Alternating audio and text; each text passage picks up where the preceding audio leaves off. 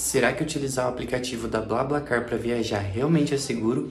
Eu utilizei as duas modalidades, já usei a função de carona e também já utilizei para viajar de transporte rodoviário e vou mostrar na prática para vocês. Então você vai baixar o aplicativo aí gratuitamente, vai criar um cadastro e assim que você abrir ele, ele já vai te dar as opções de partida e destino. E aí você também escolhe a data que você quer ir e a quantidade de pessoas que vai. Após você selecionar isso, aí você vai clicar em procurar. O aplicativo então ele vai te retornar as opções de carona e as opções de ônibus disponível para essa rota que você pesquisar. Nessa que eu simulei aqui, ele apareceu apenas carona. Então a gente vai olhar quais as caronas que tem indo para lá e vamos ver se realmente é seguro, o que, que a gente tem de informação disso. Mas vocês já podem ver que o preço ele é bem mais barato do que você ir de ônibus. Essas fotos que aparecem aqui são dos motoristas que estão indo para lá e estão oferecendo carona. Então você pode ver que aqui na frente tem o nome e a nota que cada motorista recebeu. Ou seja, todos os motoristas disponíveis no aplicativo, eles são avaliados pelas pessoas que já pegaram carona com eles.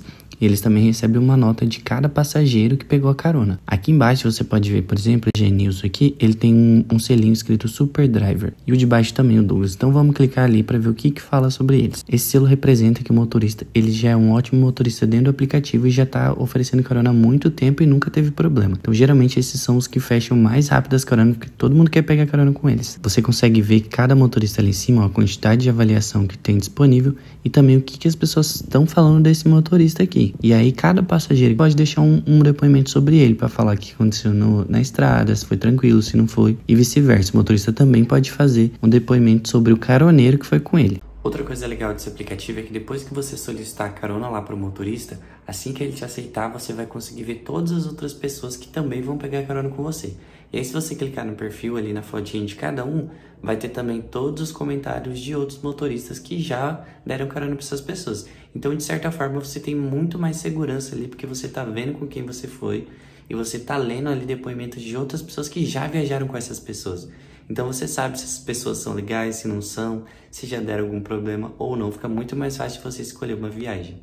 Agora vamos simular uma rota que tenha passagem de ônibus para vocês verem que as passagens também são mais baratas ali. Assim que o aplicativo retornar o resultado, da mesma forma que anteriormente, você vai ver o local de partida, destino e os horários. Aqui do lado direito tem o preço das passagens e embaixo você pode ver qual empresa de ônibus está fazendo essa rota. E aí você também consegue ver o valor ali da porcentagem de desconto. Aí você escolhe o horário que você quer ir, qual empresa que você quer viajar e depois você só seleciona ali ó, o tipo de poltrona, se é leito individual, cama ou não, e aí você escolhe onde você quer sentar e clique em continuar. E depois o aplicativo já vai te direcionar para a área de pagamento. E agora eu vou mostrar na prática para vocês como que foi a minha viagem. Roda o VT. Fui viajar de ônibus luxo e vou contar quanto gastei para vocês. Já gostei que era leito individual, com cortininha dos dois lados e todo espaço só para mim. Água geladinha bem do meu lado, além de espaço de sobra para você esticar as pernas e tirar um belo cochilo. Deram também um travesseiro e uma cobertinha para você não passar frio durante a viagem. Tinha controle de reclinar a poltrona, luz de cabeceira cabeceira e controle de fluxo do ar.